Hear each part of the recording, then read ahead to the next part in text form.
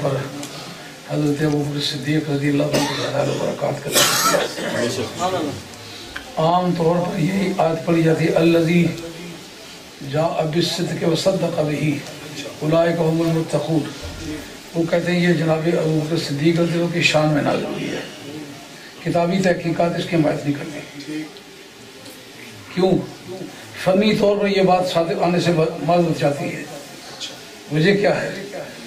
الذی جاء بالصدق اگر اس کا مدلول سرکار کی ذات ہے، جیسا کہ فی الواقع ہے۔ اور صدق بھی یہ کیا ہے؟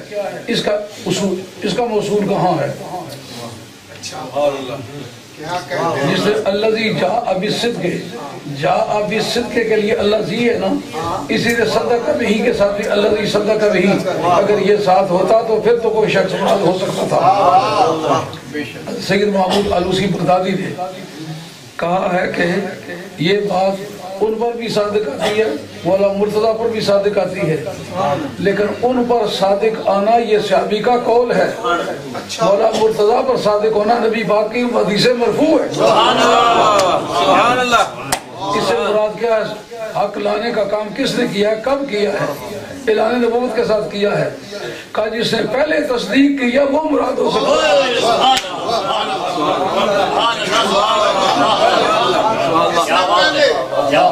اس سرکار کا خود فرمانا ہے اول من صلی معی علی ابن ابی طالب سب سے پہلے جس بندے نے میرے ساتھ نماز پڑھی ہے وہ علی ہے اول من آمن ابی ہو علی جس آدمی نے سب سے پہلے میرا کلمہ پڑھا وہ علی ہے امام جلال الدین سیوطی آپ کی کتاب تاریخ الخلفاء اور صفحہ نمبر چونتیس اس کے اندر ابن اساکر کے حوالے سے ذکر کیا ہے کہ جناب حضرت صادق ابن وقاص رضی اللہ عنہ کے صاحبزادے ہیں، محمد ان کا نام ہے۔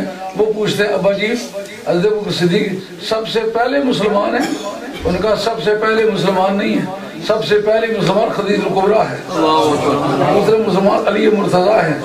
تیسرے حضرت زید بن حادثہ ہیں، چوتھے ام ایمن ہیں، پانچویں ورقہ بن نوفل ہیں، چھٹے حضرت ابو صدیق رضی اللہ عنہ۔ الذي جاء بالصدق کون سا وقت ہوگا؟ اعلان نبوت کے وقت کا نام ہے۔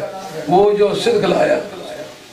ماشاءاللہ ماشاءاللہ ماشاءاللہ۔ تصدیق کا وقت ہے جس نے پہلے ان کو مان لیا۔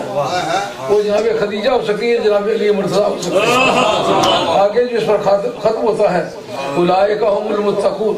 اولائے کا جمع کے لیے آگے شخص واحد کے لیے نہیں آئے۔ سمجھے گا؟ اولائے کا المتقون۔ یہ جمع کے لیے استعمال ہوگا۔ اولائے کا بذات خود اس میں اشارہ جمع کے لیے ہے۔ المتقون بھی جمع ہے۔ تو وہ ایک سنگولر شخص نہیں مراد ہوگا۔ اس میں تو جماعت ملتی ہے۔ جناب خدیج قبرا ہیں اور جناب علی مرتضی ہیں۔ حضرت زید بن حارثہ اس سے مراد وہ ہے حدیث مرفوع پیش کی ہے۔ حضرت حضرت سید محمود علوسی بغدادی نے۔ وہ فرماتے ہیں اس سے مراد حضرت ابو صدیق کا ہونا ایک شابی کا قول ہے۔ لیکن اس سے مراد علی مرتضی کا ہونا حدیث مرفوع ہے۔ حضور کے اپنی زبان کے بول ہیں۔ اتنا بڑا فرق ہے۔ سبحان اللہ۔ ایک بات پکا لیتے ہیں، پھر وہ پکتی چلی جاتی اس پر میں۔ گب گائے ایک جملہ مجھے بولنا پڑتا ہے۔ وہ میں چھوٹا سا تھا، پڑھ کے واپس جب آیا، عمر تھوڑی تھی۔ تو ایک بزرگ میرے پاس ساتھ کھڑے ہو کے نماز پڑھنے لگے۔ کہا، میں نیت کرنی ہے، اس نماز نہیں پڑھنی ہے، خاص ہوتا میں کہا، بابا، تو نے یہ چٹی داڑھی تو کی نظر نہیں اس لیے۔ تو میں نیت کرنی ہے، اس نماز نہیں پڑھنی ہے، خاص واسطہ اگر اصل کی کاجی اور نے بیوی اور نے لتائی سی وہ آپ کو اگڑے سے نیت کرنی ہے، اس نوازہ نہیں اور سہ کرنا، آخنا تو بھولی کے کیا